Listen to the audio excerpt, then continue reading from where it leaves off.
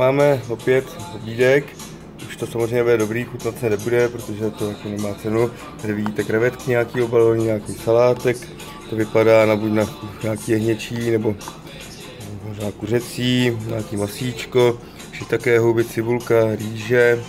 A jak vidíte, tady máme polívčičku, je taky, dřív jsme se s tím setkali, jak to smrdilo, tady už jsou zajíčko, pěkně houbičky, divný, malinký, je to dobrý.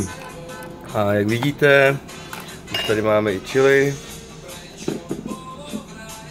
Tady máme čajíček, konvičku, takže půlčičky připravený.